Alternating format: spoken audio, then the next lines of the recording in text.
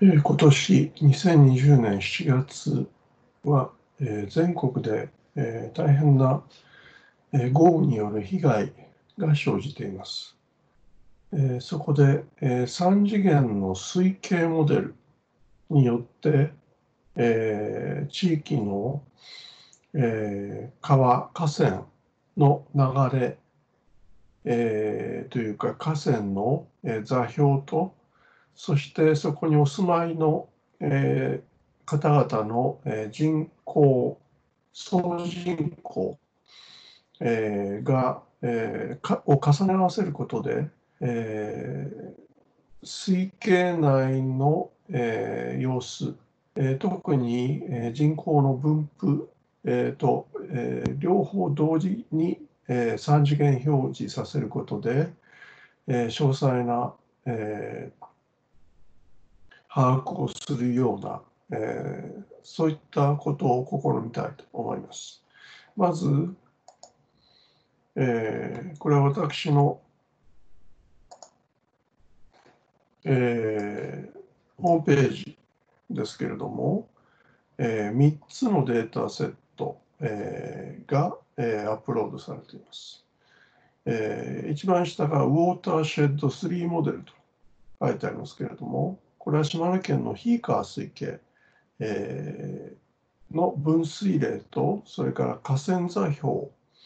を、えー、Google Earth 3次元で、えー、表示させるものです。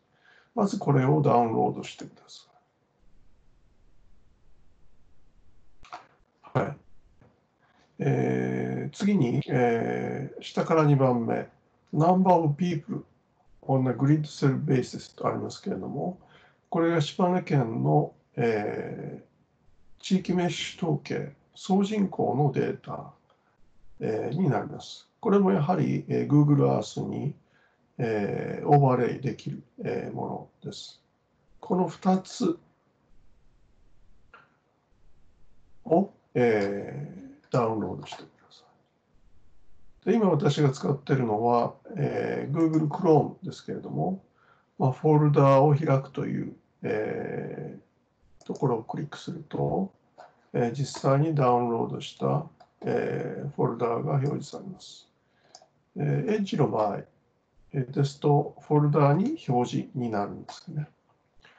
2つの、えー、データセット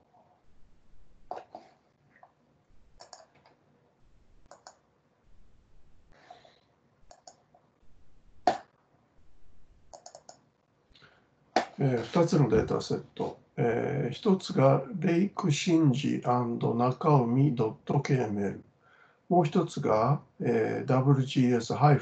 wgs-gridpop.kml と、えー、2つの、えー、データセットがダウンロードされました。で、この KML ファイルというのが Google Earth が、えー、使用している、えー、グラフィックのファイルフォーマットになります。えー、Google Earth をダウンロードしていない方は PC にダウンロードしてください。えー、PC の、えー、クライアントサイドで使う、ウェブサイトでも、えー、サイトでも、えー、使えるんですが、今回は PC のクライアントサイド、スタンドアローン、えー、で使えますので、えー、Google Earth Pro、えー、インストールしておく必要があります。さあ、それではまず、えー、新宿と中海の水系、えー、まあ、ヒーカー水系ですね、ざっくり。これを、えー、Google Earth で開きます。プログラムから開く。えーで、す、え、べ、ての KM .kml ファイルをこのアプリで開く。まあ、ほとんど KML は Google Earth ですので、私はもうこの際、えー、拡張子 KML は全部 Google Earth を使うようにします。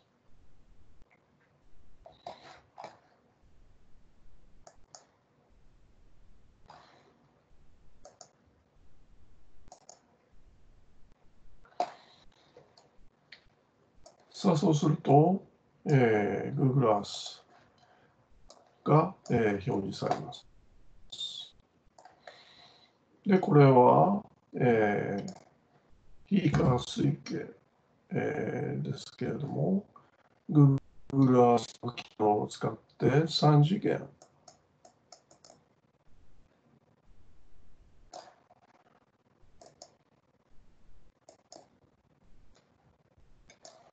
で、えー、見ることができます。カーソルを動かすと、えー、見たい部分、例えば2タグの水色が、えー、これが河川ですね。で、えー、黒で書かれている線が分水嶺、えー、になります。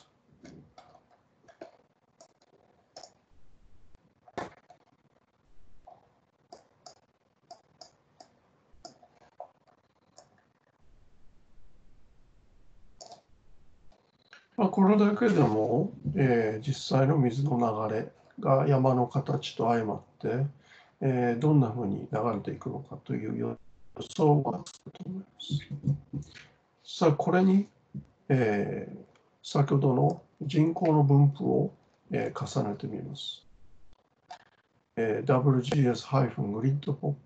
これも、えー、Google Earth で開きます。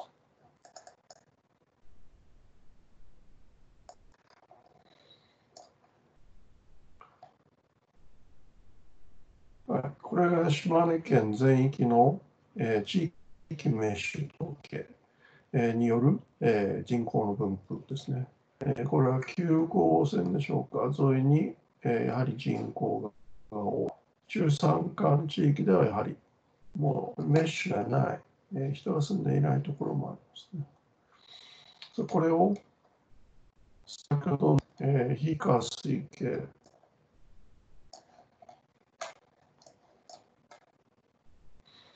の、えー、データが、出ていますので、重ね合わせて表示すると、えー、似た群の場合、えー、この2つの河川が、え、流れ込んでいるところに少し人が住んでいらっしゃる。で、えー、より上流の地域ですね。えー、では、もっと多くの人が住んでらっしゃいますが、ここは平地でしょうか、えー、複雑に、えー、河川が、えー、入り込んでいるということがわかります。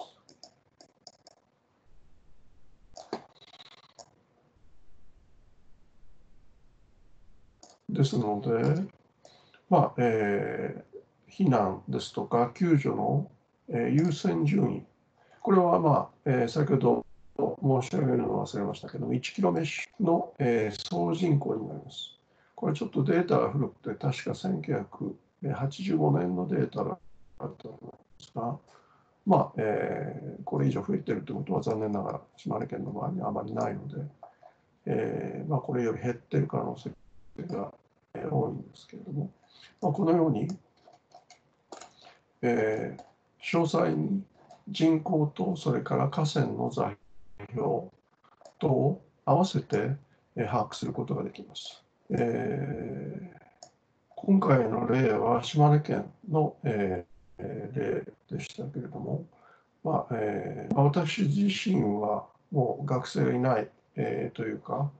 えー、手足になってやってくれる、えー、リソースがないので、も、えできることは限られていますけれども、えー、興味のお持ちの方はソースコードがありますので、えー、私の方に連絡を取ってくだされば、えー、このようなデータをどうやって、え作ることができるのか、えということを、えご紹介できると思います。